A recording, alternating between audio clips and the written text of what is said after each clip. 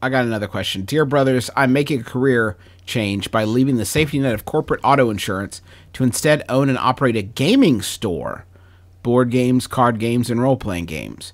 The store has a solid customer base, but recently competition has been spawning, and that worries me. How do I differentiate my brand so my Pokemon will bring all the nerds to the yard? That's from Dungeon Master Dan in Iowa Land. Dungeon Master Griffin? Dan.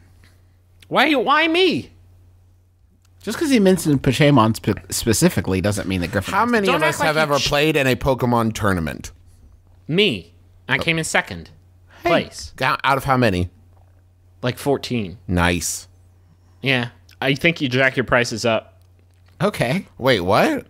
Jack them way up. You got to be the most expensive game in town, um, and that will help. You know, it'll it'll it'll help cut down on your losses thanks to this competition, and it'll also make your shit seem like a premium product. Maybe if you spend an extra dollar fifty on a Pokemon expansion pack, you're gonna get the the the holofoil magneton in there that you've always wanted. Your, your heart's true desire. That's that's what I'm saying. It, there, it's a mental connection. I'm I'm on some Malcolm Gladwell Pokemon trading card game shit right now, where if people spend more money on their mm-hmm. Poke packs, they think in their brain I should spend more money on this, and there's a better chance that I'm going to get a Mewtwo. But there's not, right? There's not a fucking, of course not. But it's it's it's all Poke psychology.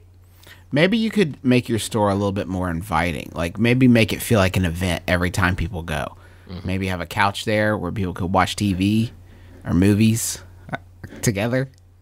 So you're talking about a, a couch where people can watch TV and movies together.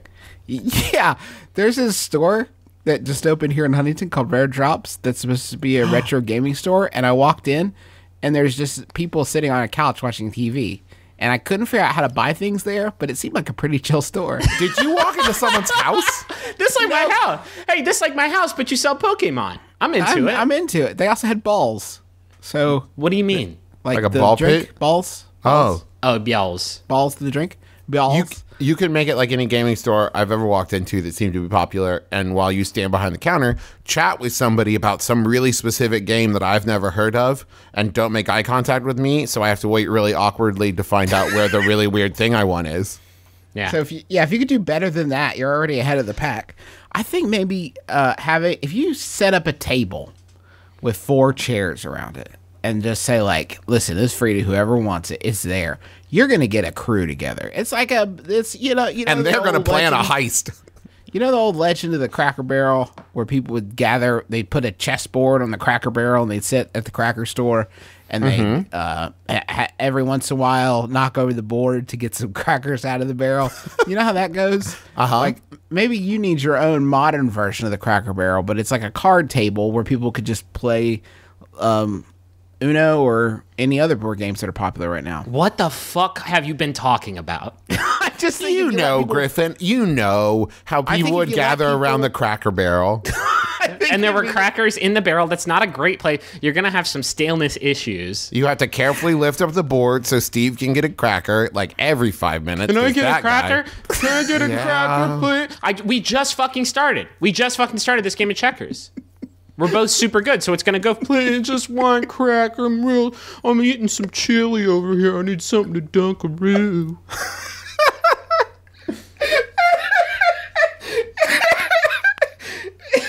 just one cracker. Come on, guys. But it's it's never just one cracker. It's never just one fucking cracker with you, Steve. Old Steve Three Crackers, they call him. It's the only cracker store in town. Come on.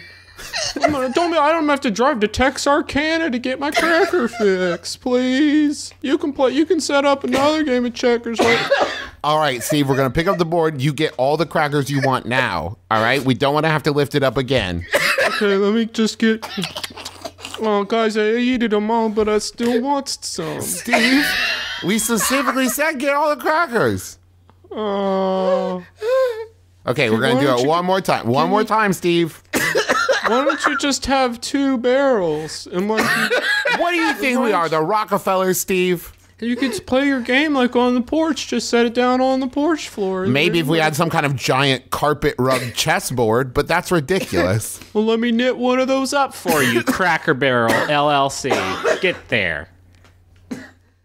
Get there for Pancake Sunday Fun Day. You know what? You know, question. This is this is here's my God's honest answer because we've been playing D and D for for the Adventure Zone, our new hit podcast, and and I've gotten a lot of like tweets from people saying like, can we how like how easy is it for us to play D and D? Mm-hmm. Um, and it's not just that. Like whenever we write on on Polygon about like a local uh, gaming experience, be it like a board game or a, a local video game, uh, people always say like this looks fun, but I don't have anybody to play it with. I still feel like there's there's shit like Meetup and you know all that stuff, but I feel like if you can come up with some way of uh, getting getting like people together, like some sort of uh, like dating service, but platonic uh, Catan matchups. Uh, I, I really do feel like that's like something that I'm sure that I'm sure there's absolutely like lots of solutions for that. I know that uh, Dragon's Lair, my local uh, uh, friendly neighborhood game store, does that, but uh, I, I don't know. I just feel like there's still it, that's still something waiting to be mastered, and if you can crack that code,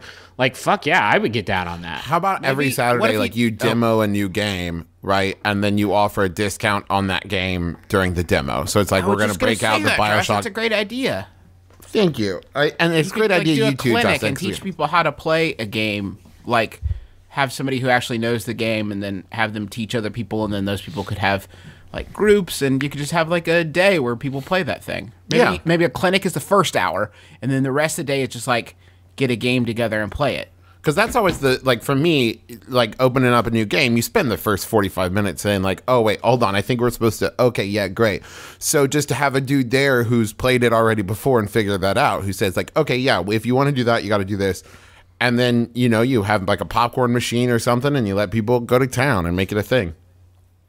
Also, I don't want to be mean, but if you could make your store the best smelling game store in town, cool, cool. And I'm not just talking about like bo or whatever, because the the one I used to go to in uh, Cincinnati was very clean, but it also smelled like really strong cleaning products all the time. I, I would go in there for like a, for it. You know what's gonna Yeah. fix that, Griffin? Popcorn Sim- machine.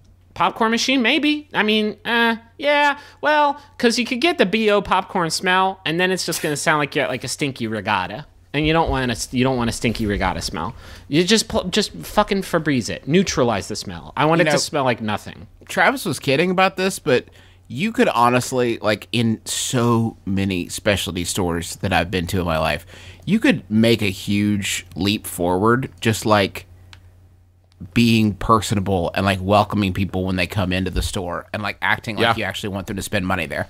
Like I'm I'm I'm not even joking. It's a, it's a it's a pervasive issue. Make people feel welcome and don't eyeball them like you think they're gonna steal every time somebody walks into the store. That for me is like, oh, they will. every time I walk in, I'm like, I'm a pretty mm. average looking dude, and I get eyeballed every time I walk into. and if you're worried about that only sell huge board games nobody's ever shoplifted a copy of lords of waterdeep because that thing is the size of a fucking like coffin it's like shoplifting a coffin you can't do it do you guys want a yahoo oh, Yeah, can't think I I? Challenge accepted. By the way, Travis, just not to like cause drama or like derail, you look like if anyone has ever looked like a fucking brigand, it's you. Fair enough. Like not like a skeezy thief, but like a kind of cool Douglas Charming, like a- Fairbanks yeah, yeah, thief, for like roguish. Do you guys think I could pull off like a roguish scar across my eye? I think you, yeah, I think you absolutely should get out there, Trav, and I think Thank you should start living hard, and I think you should get cut. Thank you, Um, Griffin. if you keep eating the way you're eating, you're going to get a roguish scar across where your heart is because of the stent. So I have been be eating a- so much better. It's 2015. I have been eating vegetables. I have been eating more vegetables, and I've been eating even more vegetables. you don't need to make a production out of it.